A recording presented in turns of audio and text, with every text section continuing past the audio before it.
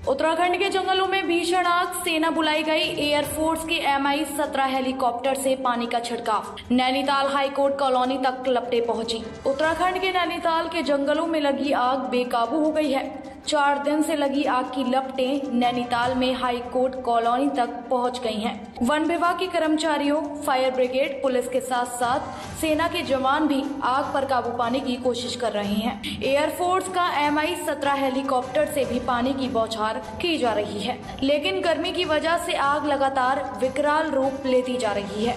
नैनीताल में एयरपोर्ट के हेलीकॉप्टर से बुझाई गई आग। शुक्रवार को उत्तराखंड में इकतीस बड़ी आग लगने की घटनाएँ हुई है। इन इनमें सबसे बड़ा मामला नैनीताल का सामने आया, जहाँ हाईकोर्ट की कॉलोनी के आसपास आग पहुँच गई।